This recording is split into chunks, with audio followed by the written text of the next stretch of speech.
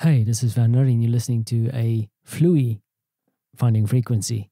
That's nothing new, right? I've, I've been reporting back about my little man flus for, I think the frequency, well, pardon the pun, of this happening to me is uh, becoming more and more. And uh, this weekend was kind of the same old story. It was a rerun. Me lying on the couch, feeling very sorry for myself, my wife just shaking her head, going, there he goes again, the man flu. So I'm still working through it, very sinusy. I don't know if it's a new variant. I am South African. Ooh, that's not a good joke to make. But yeah, so uh, yeah, what's going on in the world? I don't know. I've been sleeping. But uh, interesting things nonetheless continue to happen, even if I'm sleeping and uh, hiding away. But uh, as a quick uh, roundup, we did have some fun this weekend. Martha and I went to our favorite little Thai restaurant. And once again, probably as mentioned as many times if I've mentioned that I'm sick, Thai tasty, and we spent a fair amount of time there enjoying some tasty food. And uh, it's always good to take Martha there because I can see in her face how she enjoys it. So, uh, time well spent, indeed. And then, uh, as for the rest of the weekend, once again, time well spent. It's not a lot that we sit at home. I think I might have mentioned how my wife insists on being busy all the time. And uh, I don't know if it was my influence, but this weekend, um, actually, I know exactly what the influence was, but I'll get to that. We spent a fair amount of time at home. Um, I was ironing clothes, yes, believe it or not. Um, Francie was kind of hanging out. He went off to visit a friend for a little bit and Martha was kind of sorting out, you know, all odds and ends. We were doing like a bit of a winter cleaning in our little apartment. But the main driver behind this is that we had to kind of readjust and set up Martha's home office again because now she's officially a remote worker. She has received two gigantic monitors and a fancy laptop.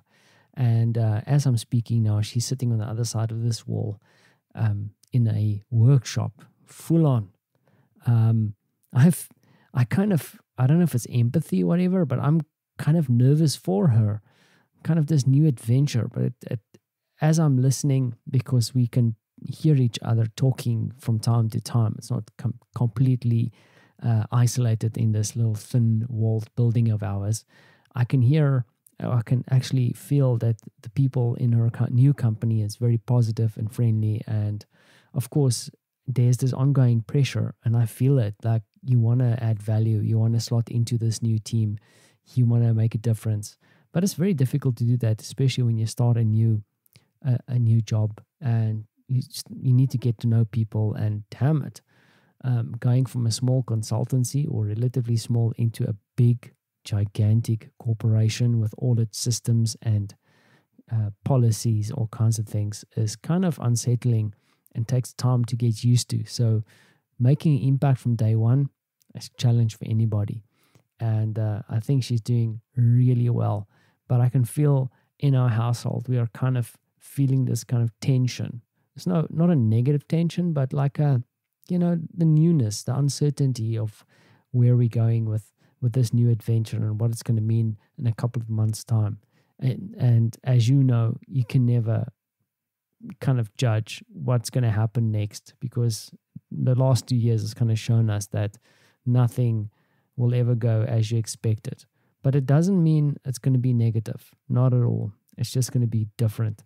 So uh, let's see how different things are going to be in a couple of months' time.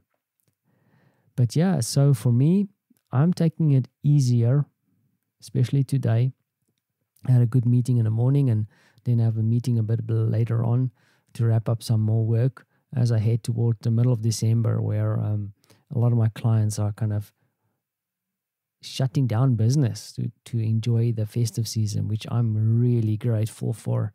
Um, the slowing down of things, which is, uh, yeah, it's kind of a blessing in disguise or kind of double edged sword because for an entrepreneur, it means you're not going to get any income. But then again, you need time because as my dad pointed out to me, that I really, I'm working for asshole. I'm working for myself. I'm my own boss. He can be terrible at times.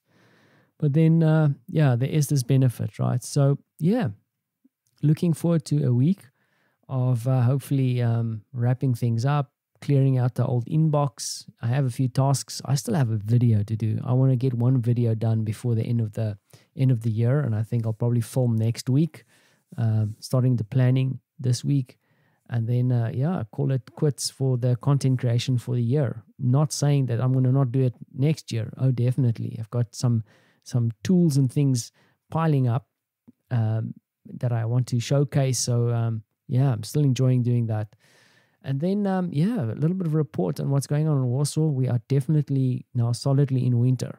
Um, don't worry, not meters and meters of snow. I'm not snowed in, but definitely um, colder and the snow is around. It's sticking around. We had a flurry or two over the weekend, and when you walk out, you can see snow in the cars.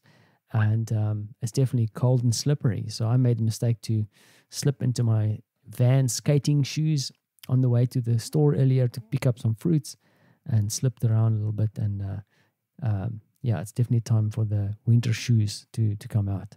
But that being said, uh, keep warm on that side, and uh, let me wrap this up. Thanks for listening.